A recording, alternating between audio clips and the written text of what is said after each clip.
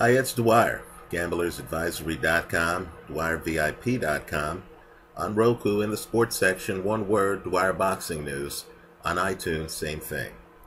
Remember, the opinion you should follow should be your own. Just consider this video to be a second opinion from a complete stranger online. Now, let me let you into my life a little bit. It's uh, Monday morning, before 8 a.m. My girl uh, just left to go to work. Uh, she just reminded me that the kids are uh, home for the day. Uh, I've already gotten a fax from a client concerning a court filing that uh, needs to be done by 4 o'clock my time. So, what am I doing? I'm actually here online with you right? Because I need to clear my head, talk a little boxing, decompress a little bit. I'm gonna ramble for a little bit. There are two reasons why I'm making this video. The first is because I want young people, I want young people to have better information than I did when I was growing up. Right? And Google has advised me, and I'm a bit surprised by this, that my crowd keeps getting younger and younger. Right? When I first started here on YouTube, most of the people who watched my videos were people who were in their 30s and 40s. Right? So those early videos, you know, were me talking about historical fighters and things like that. Right? And they knew firsthand what I was talking about. The comments to a lot of the earlier videos were people who actually watched fighters like Sonny Liston, right? Well, something happened, and uh, the YouTube community has grown, and now apparently I have a lot of people who are 18 to 38 years old who watch my videos. Right now, I remember, I'm a little older than that. You see the gray here. I remember when I was 18 to 38 or what have you. And um, I remember the misinformation I got back then. And I want to make sure that younger people, quite frankly, have access to better information than I had. Right? The second reason is because there was a day in the 1980s when I um, was watching a show. It was called Nightline. Right? The um, show was about Jackie Robinson. It was supposed to be really a celebration of um, the anniversary of either his birth or some milestone he accomplished. And the guest on the show was a Dodger executive. Jackie Robinson was a Brooklyn Dodger. It was a Dodger executive, Al Campanis. And at that time, Al Campanis on a nationally televised show on a network. And keep in mind, Campanis had been in the Dodger front office for several years. Made the statement. And by the way, back then, you know, the only people who had access to the internet were scientists, right? My phone back then wasn't a mobile phone, right? People didn't have mobile phones. Only multimillionaires did. And for those who remember, the multimillionaires who did had big briefcases. They weren't carrying phones that fit in their pocket, right? So back then, you had very few media outlets. So I'm watching this media outlet, and Al Campanis on a show that was supposed to celebrate Jackie Robinson's life made the statement that he didn't feel that African Americans could be managers in the major leagues because, in his words, we lack the buoyancy. Right? He said it's the same reason why African Americans don't make good swimmers. Right? This was, of course, before Matt Biondi lost in the Olympics to someone of African descent. Now, keep in mind, these comments were made about African Americans lacking the buoyancy to be managers of the major leagues uh, after you know, Ralph Bunche's work with the United Nations and his Nobel Prize. This is after, you know, um, Edward Brooke was a United States Senator from the state of Massachusetts. right? This is after countless African American venture capitalists had success in running businesses, etc. Right? In other words, the information was so local, was so biased, that anyone who knew history, anyone who knew that Jack Johnson wasn't just a title holder, but was a patent holder, anyone who understood history knew that this was simply ridiculous. It's as if being manager of a big league team was more involved than anything any African American was capable of doing.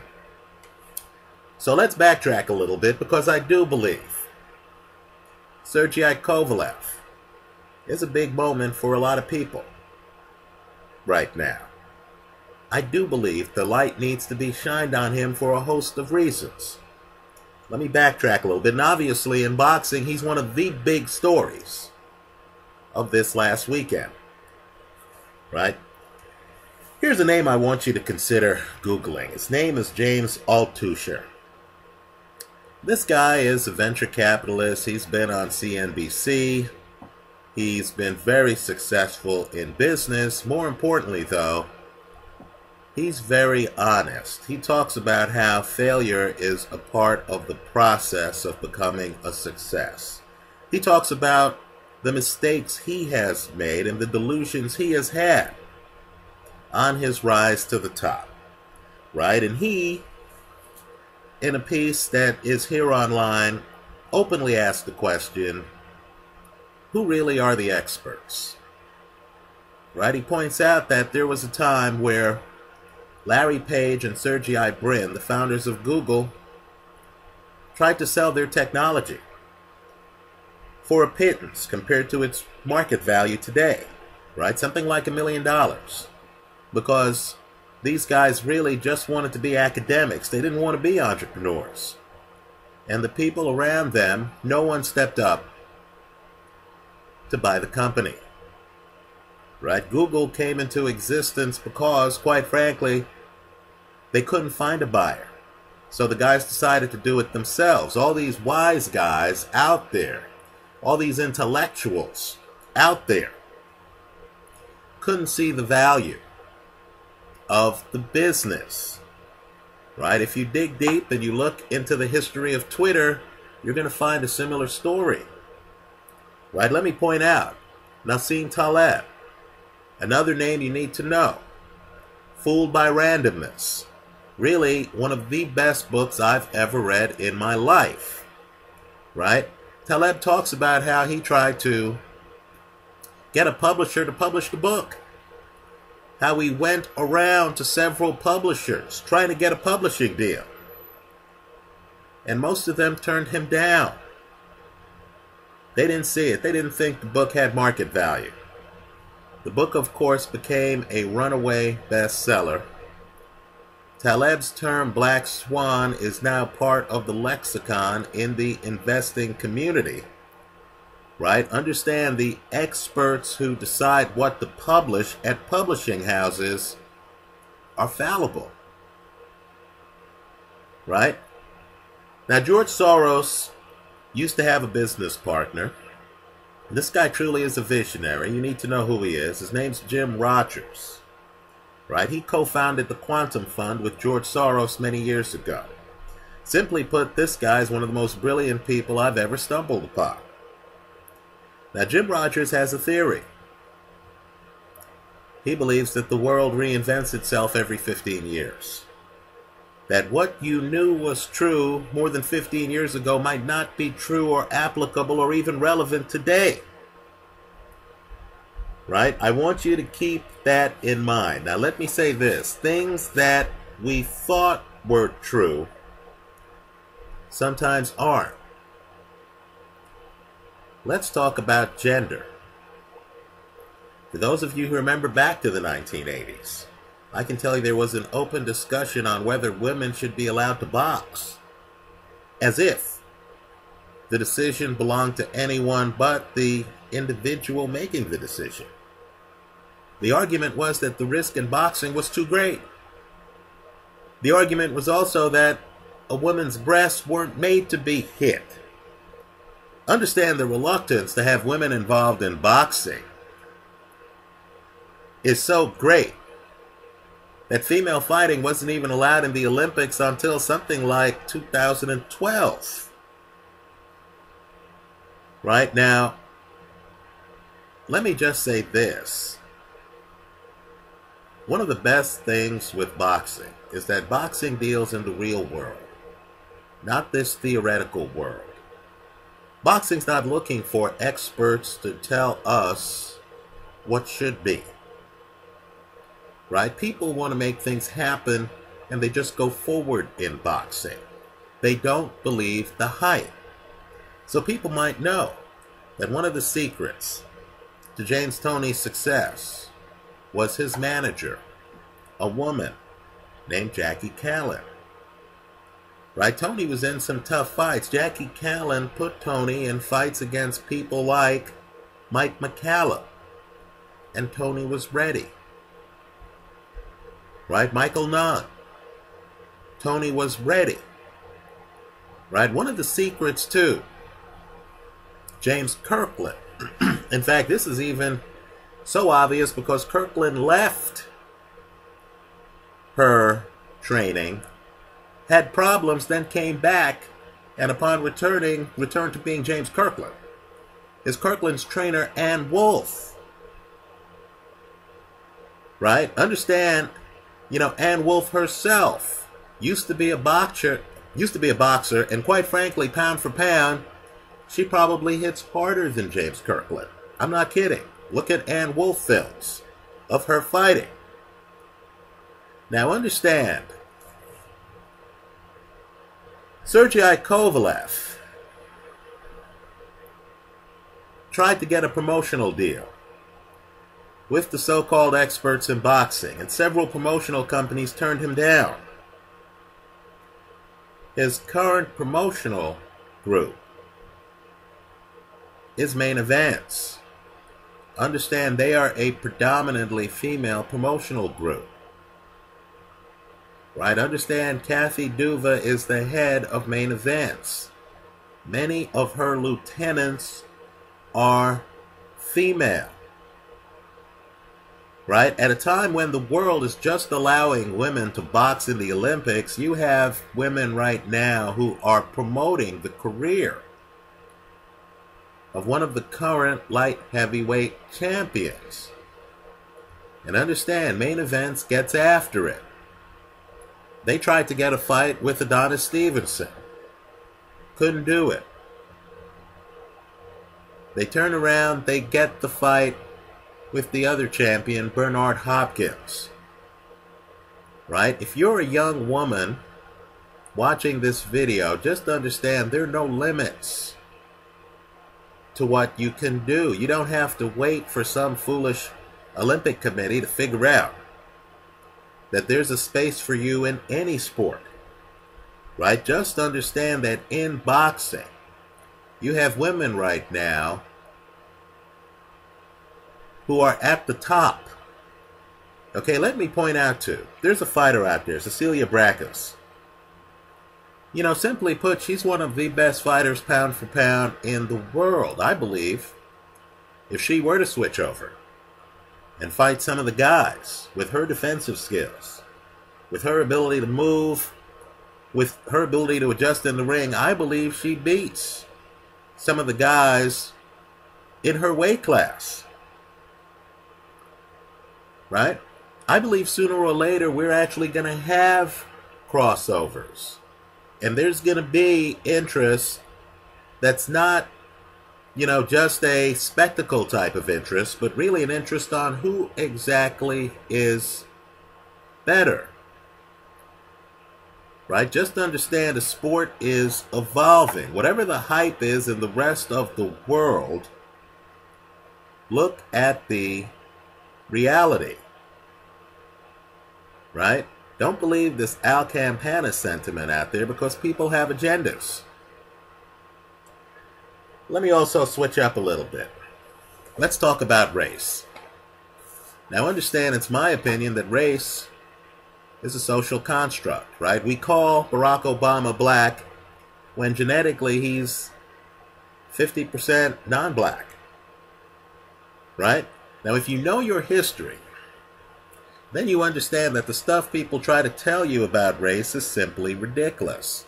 For example, I get comments here about black fighters and stuff like that. What exactly is a black style of fighting? Is it to come inside throwing big punches, not really focused on a jab, but focused on hurting the other guy?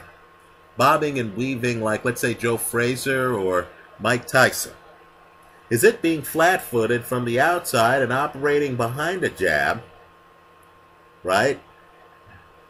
Like, let's say, Sonny Liston and George Foreman, focusing on power shots keyed off the jab. Right? Understand, I've just named four guys who held a heavyweight title. Right? Or is it, let's say, alternating? Sometimes you're up on your toes, sometimes you're off your toes, you're high volume, offensively minded, like Ray Robinson, or is it with a focus on defense? Right? Where you're low volume, but very accurate and excellent defensively, like Floyd Mayweather. Right? An argument can be made that Ray Robinson and Floyd Mayweather are two of the best fighters who've ever lived. Which style's the black style? Right? Because those guys are very different in the ring, aren't they? Let me go further. Occasionally, people will write me about a Mexican boxing style. Right before a recent fight that took place, Marco Antonio Rubio against Gennady Golovkin, there were comments by the fighters that this fight was going to get Mexican. All this other stuff, right? There's supposed to be some Latino style of fighting. Well, let me ask you, what, what exactly is the Latino style of fighting? Is it a Sugar Ramos style? Understand, Sugar Ramos, Boxing Hall of Famer. Great jab. Slick behind the jab. Is it that style? Is it the style of Roy Jones's idol, one of the guys who inspired Jones to fight, Salvador Sanchez, right? Who did a lot of things like Roy Jones? Or is it more of an inside type style like Julio Cesar Chavez's style? Right? What exactly is the Latino style of boxing? Right? Let's talk about Sergey Kovalev. Now, I've read some of the comments here online to earlier videos I did, and some people are accusing me of being, um, you know, anti Kovalev because he's, um, you know, of European descent, and the idea is that I favor black fighters over European fighters, like, let's say, Sergey Kovalev, Gennady Golovkin, right? Now, I've mentioned this in other videos, but look at Kovalev's corner. Again, race is a social construct, right? Kovalev's corner is predominantly black. Has anyone noticed that? His lead trainer is John David Jackson. Now understand, Jackson was winding down his career when Bernard Hopkins was starting his career. It was Jackson who was the champion sparring with up and coming Bernard Hopkins. This is before they fought years ago. Right? Understand they would spar out of Philly. Right? Understand later the two guys met in the ring. Understand Jackson actually was in Hopkins's corner for multiple fights. If you believe Hopkins is black, then you'd believe John David Jackson is black. Hopkins and Jackson are running in the same circles. They're participating in the same camp. Right? Jackson was working with brother Naazim Richardson. That's who Kovalev's trainer is. Understand, too, one of the secrets of Kovalev's success, really was an eye opener for me this weekend. I learned a lot. Is his jab. His jab's above average, folks. He comes in, he's actually popping the better jab in the fight. But as you look at his corner, you're going to notice that there's a older black man with gray hair. And as you look at him, he's going to look vaguely familiar. His name's Don Turner. Understand, not all of the players are in the ring in boxing. Right? Don Turner is a jab guru. He used to work with future boxing Hall of Famer Evander Holyfield.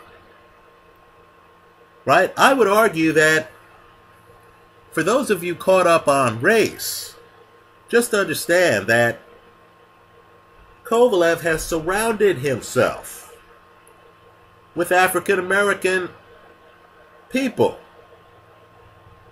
Right? If I were trying to learn how to fight like Evander Holyfield, who better to learn from than his former trainer, Don Turner?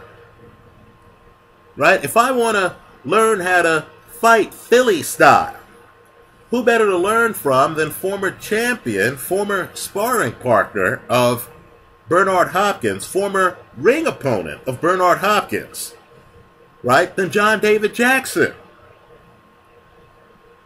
Right? And so understand you know, I view Kovalev as a fighter. I don't I don't waste any time. I mean no time thinking about a fighter's race. What's the point? Take a look at Gennady Golovkin, by the way. His trainer is Abel Sanchez. Right? All of this, by the way, has been for years. Right? All of this hype, people who seem to believe that these guys have some kind of racial orthodoxy that they don't blend like almost everyone in boxing are just kidding themselves. To me, they're pushing bad information just like Al Campanis. Right? Take Manny Pacquiao. His trainer is Freddie Roach. Right? His sparring partners are from all over the world. Wasn't he sparring with Victor Postol? So the point is simply this. This isn't some political beauty contest like, let's say, the Olympics, where, you know, uh, people are in a room trying to make decisions on how the world should be. No, boxing is different. Boxing's market based. You have game you look exciting in the ring, you're successful in the ring, people are going to want to see you fight. Right? That's the reality. Don't waste time with the Al Campanises of the world. Don't waste time with the people pushing some ethnic line and stuff like that. Right? Just understand, Sergei Kovalev, right, is promoted by women and he's trained by African Americans. Right? There's no difference between his corner and the corner of many other fighters out there. Right? Just understand as you look at his style, people will say, "Oh, that's a that's a European style and stuff like that." You know what? The guy who beat Ricky Hatton, working behind a jab and shifty and stuff like that, I believe his name's Shevchenko. Do you believe that his style mirrors Sergey Kovalev's style? Do you believe that every fighter in, you know, that part of the world has the same style? I don't. You know, take the Ukraine. I would say um, Vasyl style is vastly different than Dmitry Perov's style, which is vastly different than Vladimir Klitschko's style. Right? Take Vladimir Klitschko. Wasn't his trainer Emanuel Steward? Isn't he being trained in part now by Jonathan Banks? So don't get caught up on racial storylines. Don't get caught up on how people started out. Look at where they are. Understand boxing is a very blurred sport, right? Floyd Mayweather Sr. used to train Oscar De La Hoya. Right? Understand Angelo Dundee trained Sugar Ramos, trained Muhammad Ali. Right? Ramos and Ali are boxing Hall of Famers, trained by an Italian guy. Are we going to call Ramos' style the Latino style? Are we going to call Ali's style the black style, overlooking the fact that their corners were multiracial? So, in one paragraph, let me just say, I hope the message I'm sending here to people, female, male, whatever your race, is that there are no limits in boxing. If you're waiting for some group in some room to give you permission to do something, you're in the wrong place. Right? There are no limits in boxing. Right? Just understand that things aren't what they seem. Right? If you're caught up on race and you believe this guy symbolizes this country and stuff like that, simply put, you haven't been paying attention. Right? This is a different sport. Even before Jack Johnson, there was Peter Jackson. Right? British Commonwealth champion, Australian champion, right? Just understand this sport is different than any other, right? Let me hear from you. Leave your comments for me here online. Visit us at gamblersadvisory.com. Let me also say this too. You know, understand that Kovalev is not the first high profile client of main events, right?